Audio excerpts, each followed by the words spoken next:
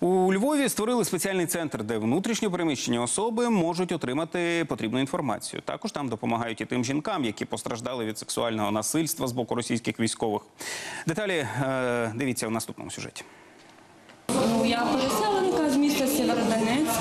нас була дуже важка обстановка там, поки ми там були. І, ну, я хотіла б запитати, які може якісь вопроси можна тут порішати з вами. Там щось може ви предоставляєте якусь допомогу психологічну. Там. Олена Барі одна із перших жінок-переселенок, яка звернулася по допомогу до центру допомоги врятованим. З під обстрілів із Сєвєродонецька разом із донькою та мамою вдалося вибратися наприкінці березня. Було дуже важко, бо ми таке пережили кожного дня під обстрілами. І як ми евакувалися, це і це дуже було складно. Бо ми думали, що ми там вже загибемо в- процесі евакуювання. Ось і приїхали сюди. Звісно, на нас не було ліца, так сказати. Про жах, який принесла Росія в її місто, Олена згадує із болем в серці. Було дві квартири, не сталося нічого, ні роботи, ні квартири, нічого. Вони повилітали балкон, вікна ще 8 березня.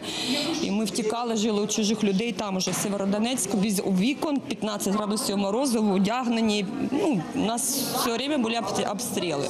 Багатьом переселенцям після пережитого необхідна психологічна допомога, кажуть працівники центру.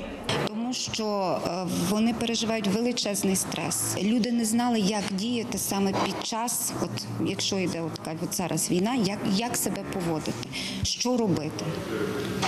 І тому люди вони не можуть справитися зі своїми емоціями, не можуть справитися зі своїми страхами. І тому потрібно їм якось дати якесь таке оце правильне русло. А ще люди, які постраждали через російські обстріли у центрі, можуть отримати інформацію щодо гуманітарної та медичної допомоги, і навіть дізнатися, де в області можна безкоштовно поселитися. Катерина з Дніпрорудного, що на Запоріжжі, звернулася за юридичною підтримкою. У жінки немає документів на її квартиру в рідному місті, а воно наразі окуповане.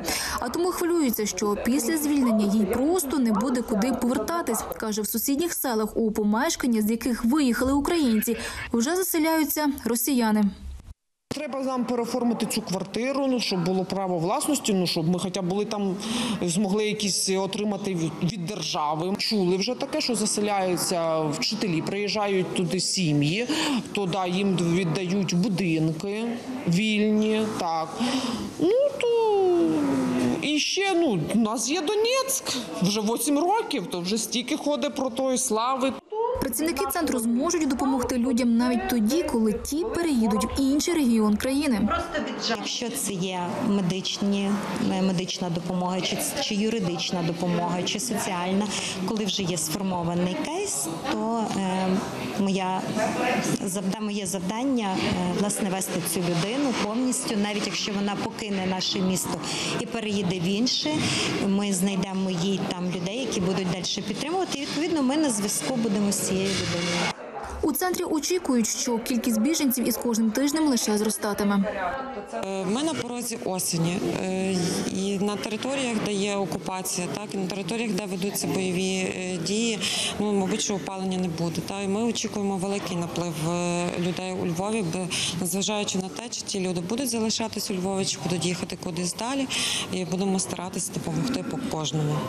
Такий центр допомоги вже діє в Запоріжжі. До початку вересня такі сервіси запрацюють у Дніпрі та Києві. Зі Львова Христина Ашенко, Юрій Голубінка. Подробиці телеканал Інтермарафон. Єдині новини.